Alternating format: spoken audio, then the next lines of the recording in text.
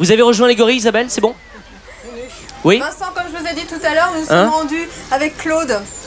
Claude Caillet, directeur du zoo de la Palmyre, dans la fosse. hein.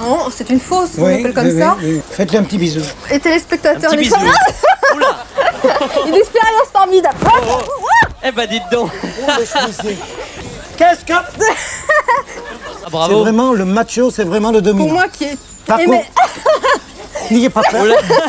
N'ayez pas peur, Isabelle. Claude est là. Je vais me retrouver à poil. Elle est en soutien-gorge là. hein, c'est- Bon, ça- euh, avant que ça Bah, devienne porno, Vincent.